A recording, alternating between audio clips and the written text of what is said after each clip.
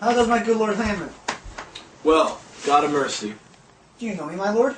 Excellent. Well, you are a fishmonger. Not I, my lord.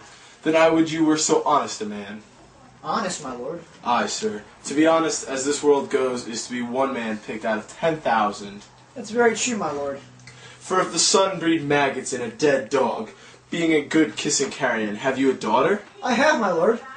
Let her not walk in the sun. Conception is a blessing, but not as your daughter may conceive. Friend, look to it. How say you by that? Still harping on my daughter? Yet he knew me not. First I said, I was a fishmonger. Eyes far gone, far gone. And truly in my youth I have suffered much extremity for my love.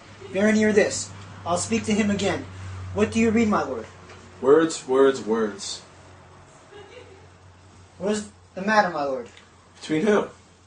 I mean the matter that you read, my lord.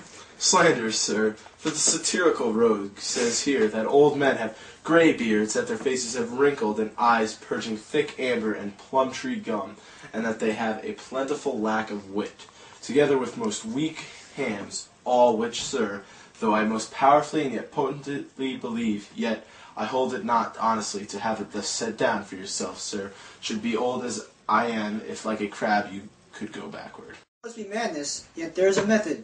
In it, will you walk out of the air, my lord? Into my grave. Indeed, that is out of the air. How painless sometimes he replies are. A happiness that often madness hits on, which reason and sanity could not so prosperously, prosperously be delivered of.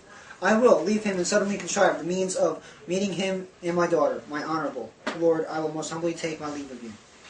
You cannot, sir, take from me anything that I will not more willingly part withal, except my life, except my life, except my life. Farewell, you, my lord.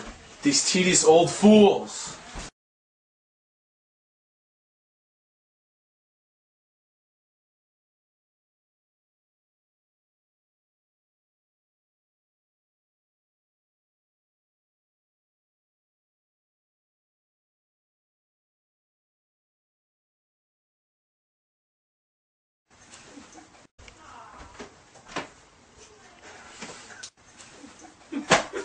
What's wrong with you?